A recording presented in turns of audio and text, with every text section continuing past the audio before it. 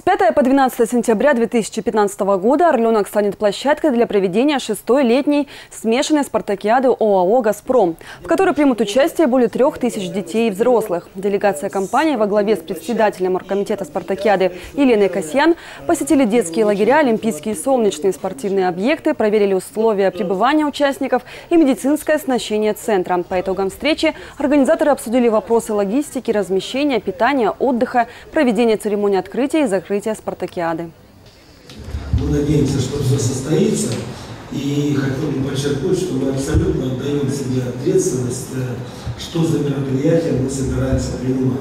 Мы понимаем, что «Газпром» компания мирового уровня, и те мероприятия, которые, высокие мероприятия, которые мы проводили, они потребуют еще большего посвящения. Наша цель э, показать, что мы можем быть стратегическими партнерами в работе с детьми.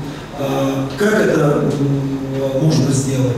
Мы готовы вам предложить это позже, но сначала мы должны показать себя партнером проведения соревнований.